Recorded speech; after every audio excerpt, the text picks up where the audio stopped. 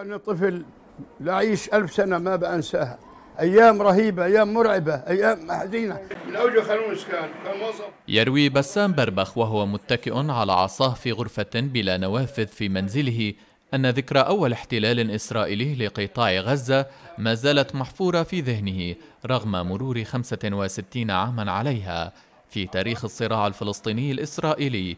احتلت إسرائيل قطاع غزة نحو أربعة عقود من العام 1967 إلى العام 2005 عندما انسحبت قواتها العسكرية من القطاع الذي فرضت عليه بعدها حصارا محكما في العام 2007 لكن المرة الأولى التي احتلت فيها إسرائيل القطاع كانت في الثالث من تشرين الثاني نوفمبر عام 1956 وهو اليوم الذي استسلم فيه حاكمه العسكري المصري.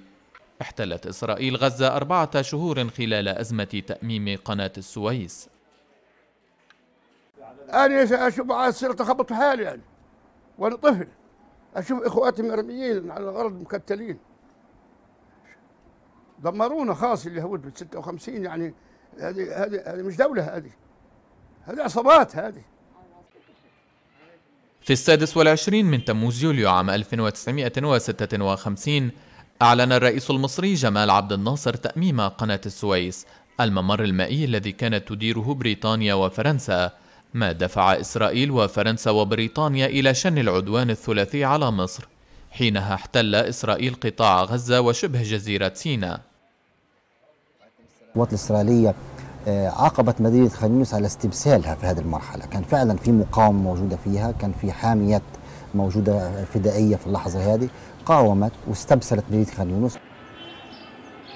لكن تحت ضغط الأمم المتحدة والولايات المتحدة والاتحاد السوفيتي آنذاك انسحبت إسرائيل من تلك المناطق في آذار مارس عام 1957 ورغم أن هذه الفترة لم يسلط عليها الضوء في سجل الصراع الإسرائيلي الفلسطيني إلا أنها أطلقت إنذارات مبكرة بشأن التوترات المستقبلية المحتملة ورسمت ملامح عقود تلت تمثلت باحتلال إسرائيل للقطاع إبان حرب الأيام الستة في العام 1967